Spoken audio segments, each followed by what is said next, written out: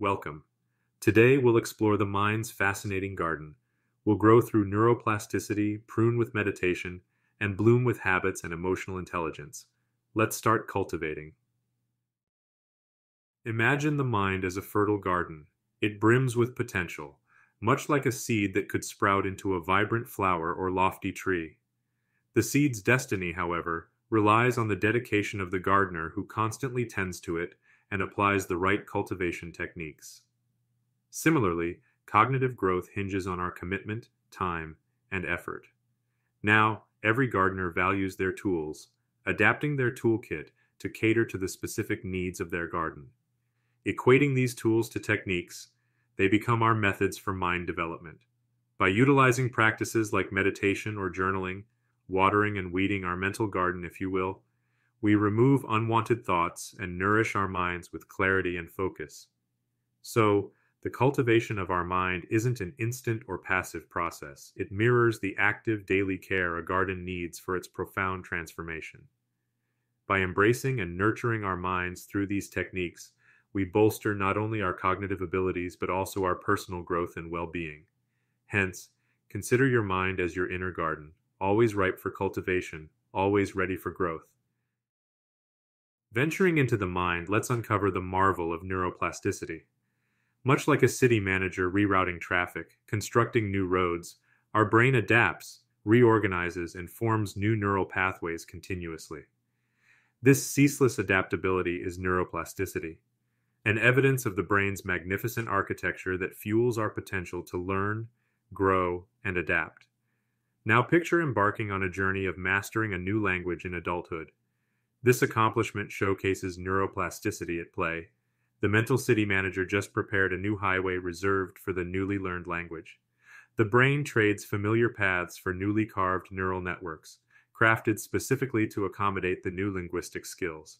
This adaptability doesn't stop at languages. It spans all skills we learn as adults, constantly remodeling our brains. The most thrilling part?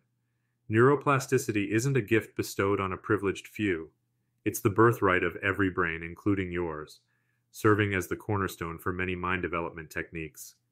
With this understanding, we unlock the potential of cognitive transformation, skyrocketing beyond limitations we've set for ourselves. By tapping into our inherent brain adaptability, every seemingly arduous endeavor becomes a promising opportunity for cognitive enhancement.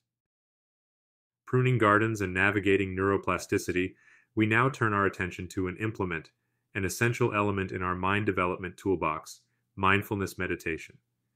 Rooted in Buddhist traditions, mindfulness practice captures your attention, anchoring it to the present moment, without judgment. Imagine savoring every minute detail of a delicious bite of food, or appreciating the soothing sensation of breath entering and leaving your body.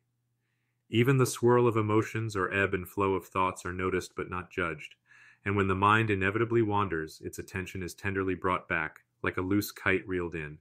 Now, techniques are futile if their utility is unproven. But does neuroscience back mindfulness meditation? Studies reveal consistent meditation bolsters the brain's gray matter density, the component linked with memory, emotional regulation, and high order skills. More gray matter often equals a healthier brain. But how does it translate into cognitive improvement? Envision it as garden pruning. Each session clips the substrates of stress, anxiety, and false narratives clogging our minds. What's left? Clarity, self awareness, healthier thought patterns. It's this mental pruning that aids germination of robust cognitive capacity. Detailed understanding indeed confirms how mindfulness meditation is like a gardener, meticulously fostering a sanctuary of cognitive flourishing. Picture a meadow, a rich tapestry of diverse plants, our mind, much like this meadow, houses a range of thoughts and ideas. Now, the tools used in cultivating this cognitive terrain are two forms of thinking divergent and convergent. Divergent thinking helps scatter the seeds of numerous unique ideas, celebrating quantity over quality. On the other hand, convergent thinking aids in handpicking the most promising of these ideas, acting as the gardener who curates the best flora. Essential to nourishing this mental biodiversity is Scamper, a set of mind gardening tools.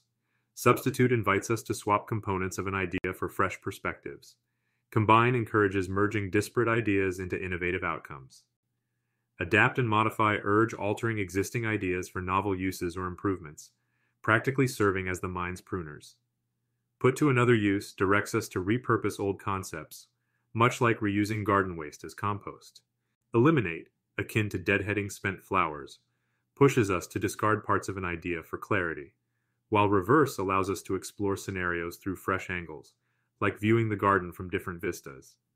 To see this in action, consider a seemingly ordinary wheelbarrow. Now, using Scamper, we can substitute its purpose from mere transport to a unique flower container, effectively transforming this tool of cultivation into a symbol of blooming creativity. The key to growing new habits lies in understanding the habit loop, a potent tool in our mental garden. Think of the cue as a gentle nudge, a reminder for an action. The sight of a book, for instance, serves as a cue. It naturally leads to the routine, our response to the cue, which in this case is reading. This action is subsequently rewarded with a period of relaxation, their ward. Together, this cue routine reward cycle forms the habit loop, very much like a seed sprouting, growing, and finally blossoming. Now imagine each habit as a young sapling. Just as a sapling requires sunshine, water, and the gardener's care to bloom into a sturdy plant, habits too need routine, consistency, and patience to grow. The magic here is not instant, but is the result of consistent effort over time, like a sturdy tree that was once a fragile sapling. Realize the power of the habit loop, the reward of sustained effort, and apply it consistently to see real growth. For example, daily exercise, much like consistent watering, helps boost stamina over time. Remember, every tree was once a seed, and every habit was once just a cue. Emotional intelligence marks the bedrock of our mind garden's nourishment, signifying the ability to recognize, navigate, and effectively harvest our emotions for personal growth. Decoding this mental aptitude, we embrace five interwoven threads. Self awareness, akin to gauging the garden's health, illuminates our emotional state, while self regulation conflates with pruning, shaping emotions for optimal expression. Motivation fuels the gardener's hand, aiming for personal success apart from material rewards, and empathy resonates with understanding each plant's unique needs. Lastly, Social skills culminate in the gardener's finesse, navigating social interactions fruitfully. How does this web of skills cultivate relationships, you ask? Picture it as a gardener nurturing their garden with care and understanding. Every plant's uniqueness is acknowledged, its needs met. This mirroring of nurture and empathy invigorates our relationships. Just as the gardener is attentive to each leaf's rustle, we enhance our emotional intelligence through active listening and mirroring emotions. Can we say that nurturing a garden parallels nurturing relationships? Each skill cherished in our emotional toolkit eases the journey through the meandering maze of interpersonal interactions, steering us towards more fruitful paths of relationship building and self improvement. Harvest the power of neuroplasticity, a stronghold in our mental garden. Just as learning to play a musical instrument reshapes the cerebral landscape, so does every other skill, helping us evolve cognitively. Consider mastery of a musical score. Our brain readjusts, clears a new path, and strengthens it every time we decipher a note correctly. This phenomenon, akin to opening a new gate in the garden, nurtures our minds, reshaping it as we endeavor on new learning quests. Creativity, just another gate swinging wide open, allows us to perceive the ordinary in extraordinary ways. With the scamper technique, for instance, we can repurpose a mundane object like a lamp into a device that syncs light with rhythm, conveying a whole sensory symphony. Suddenly, the ordinary lamp isn't just a source of light, but a beacon of creative ideation. But to reap the garden's wares, we must tend to it consistently. Building new habits, such as maintaining a gratitude journal for just five minutes a day, triggers the cycle of reward based learning. This routine, much akin to the quiet patience of watching a seedling grow into a tree, fortifies our emotional fortitude. Emotional intelligence manifests itself as a pivotal skill in our garden, fostering awareness of our feelings and those of others around us. Coupled with regular practice, it cultivates resilience, empowers us to innovate, and plants the seeds of empathy, making our mental garden a sanctuary of growth and well being.